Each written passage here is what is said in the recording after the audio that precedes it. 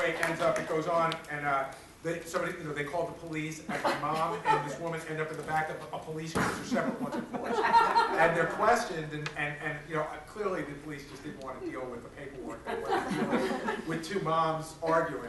And, uh, but the funny thing was, you know, we went home that night, my father came home from dinner, and he said, anything happened today? She goes, no.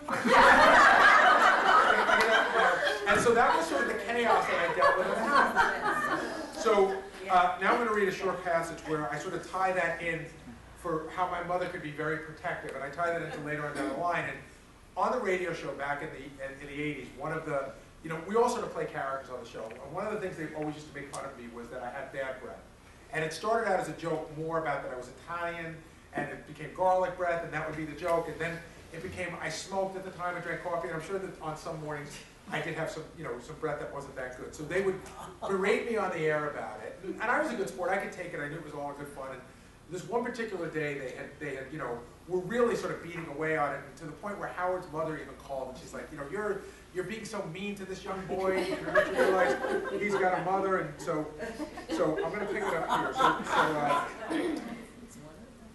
uh, uh, okay, so um, his mother called up and she said, uh, uh, let me tell you something. He, he said to his mother, let me tell you something, Mom. We work with this guy every day.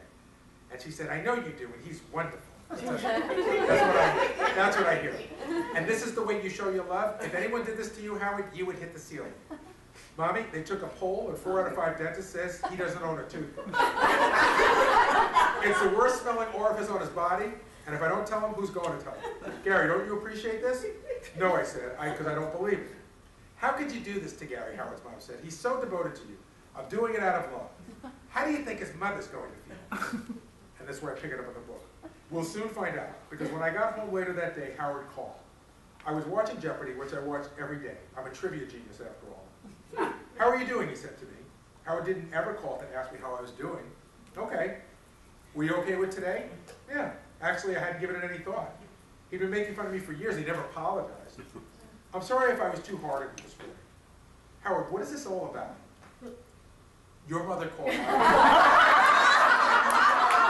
was very upset. Then my mother called me and said, I better call you and apologize. I'm sorry. I was mortified. Whose mother calls their boss's mother? All I wanted to do was get off the phone with him so I could call my mom and ask her, what the fuck was she doing? Howard didn't know anything about how I grew up and my mom's tendency for outbursts, her history with depression. Suddenly I was 10 years old again, remembering how anxious I got when she and I were out in public. Would she lose it? Would someone be asking me the next day if she was crazy? Was Gary's crazy mom going to be a recurring bit on the show? And then I realized there was something worse.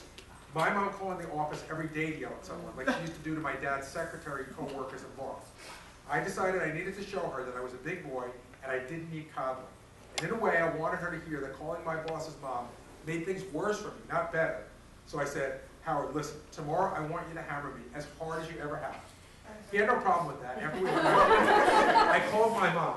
Mom, you gotta be kidding. You can't do that. I'm a grown-up. I have my own apartment. I live in Manhattan. I know, she said, but you sounded so upset. That's the show I started yelling. Why wouldn't you call me, not her? I was really angry, not just because of what she did, but because I wanted to be clear that she was never to call my office or anyone I work with ever again. Maybe it was a singular moment of clarity for her, because I never once heard about her interfering again. But I still spent many months after that being wary whenever I got ripped on the show. I was never out of the woods. It reminded me of something my father always said about my mom. She does the right thing in the wrong way, and the way she does it pisses everyone off.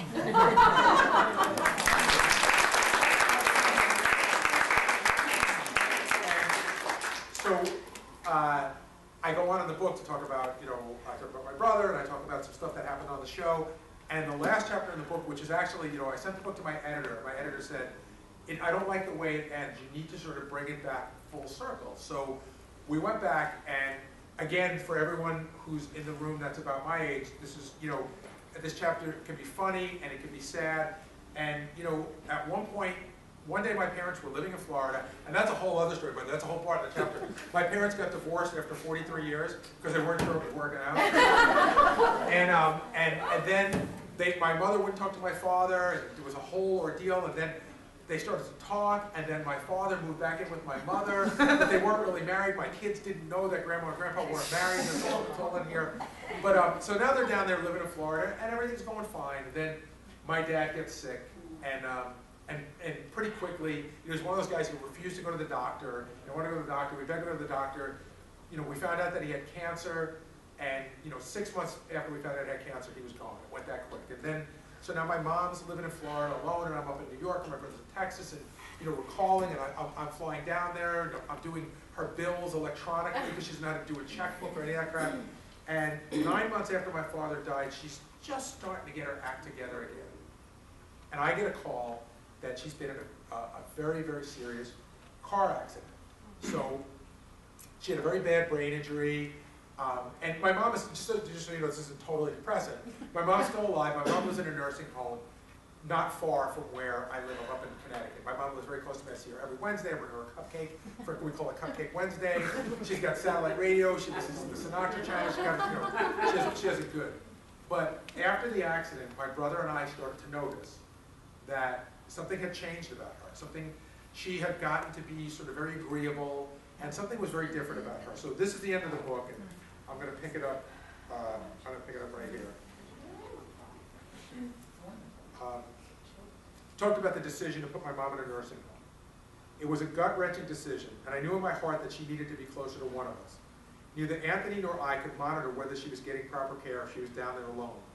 But when I told her she'd be moving to a facility near me in Connecticut, part of me felt like I was breaking bad news to a child. We're going to keep your house. It may be temporary, I said, or it may be permanent. We're going to have to wait and see. Two months earlier, she'd been completely independent, living alone, driving to do her errands, living a full, healthy life in a house of her choosing. Now she was being taken to a strange place where she lived in one room with a roommate, the exact scenario she had begged Anthony and me to avoid. But we felt like we had no other choice. Yet when I told her, she didn't resist, for which I was relieved. But I also thought she was acting strange. She'd been out of the hospital a month, and except for the flare-up with the aide, her personality had vanished. There was no pepper, no anger, just placid acceptance. I called Anthony and I said, man, what's up with mom? She's not acting like herself. She's being way too nice. he had noticed it too. While we liked it at first, the dramatic makeover was starting to freak us out. We weren't used to her being pliant. I had spent I had spent my life managing difficulty and rage, waiting for the mercury to get to the tip of the thermometer and explode. I braced myself for the explosion the day she moved into the home. But when I picked her up at the airport, I paid an aide to help her fly her to Florida. She was thrilled to see me. And uh, at the home, a team of people met us at the door and greeted her as if she were an arriving dignitary. Complaints were really kept to a minimum. I put Sirius in a room and showed her how to find the Sinatra station. The old audio cabinet from her house with the built-in record player snugly against, fit snugly against the wall. She lined the shelves with pictures and all of that stuff went on. I'm going to skip ahead here. I had actually been worried that my mom would think the social life at the home was beneath her, but she just didn't participate in any of it.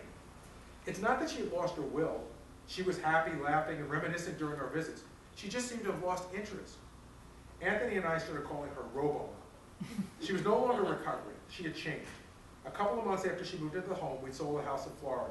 We knew she wasn't moving back. The difference in her personality was never more obvious to me than the Memorial Day after she moved into the home. My wife and the kids and I had gone to a parade in town that morning. Afterward, I went to visit my mom, and she asked me what I had done, and I said, we went to the parade. A look crossed her face. Darkness filled her eyes that I recognized from when I was younger. I like going to parades. I know, Mom, I said, but we were running late. I just decided it would be easier if I came to see you this afternoon. Oh, she said, okay. That was it. Before, in another more chaotic life, the answer would have been a full-throated, I like parades too, and I'm stuck in all, here all day by myself, and you take your family to the goddamn parade and leave me here. It would have been an afternoon of guilt and bitterness. Now, it was just okay. I'll ask her now if she remembers beating our neighbor with shrubs or throwing Chuck Taylors at a sales clerk, and she'll wave me off with a smile. Oh yeah, that, as though it was a one-time incident, not the moments that shaped my life. It's times like these when I think I miss my mom, and there's the rub. I spent my entire life praying for the mom I have today, the one who doesn't cause any drama, the one who smiles and says everything's okay. But I don't want her. The accident knocked the crazy out of her, but it also knocked out the good. She's missing the fire and spunk, wit and sarcasm that made her so great, if also volatile. I actually miss the theatrics. I miss hearing her use swear words so creatively that Richard Pryor would blush. I miss the challenge of negotiating her moods, and that's why whenever I kiss her goodbye and walk out the door of her building, I thank God I grew up the way I did. Otherwise, you'd be calling someone else you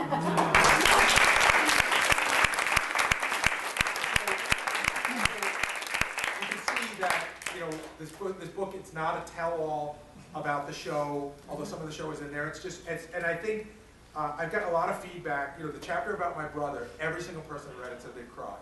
And, you know, people really have said, I, you know, I read your book and I laughed and I cried, but I think that for people around my age, this sort of strikes a chord. I think we're all, you know, we all go through the same thing. So, uh, thank you very much for your time.